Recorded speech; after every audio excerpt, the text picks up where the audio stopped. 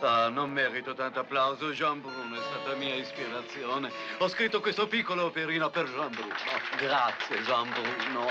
Bravo. Bravo. Merci. Vi faccio i miei sinceri complimenti per il virtuosismo del cantante e la maestria del mimo. Sorprendenti. Però dopo gli argomenti discussi a tavola, non vi stupirete del mio dissenso, del mio assoluto dissenso per l'idea che è alla base del vostro suggestivo balletto. Perché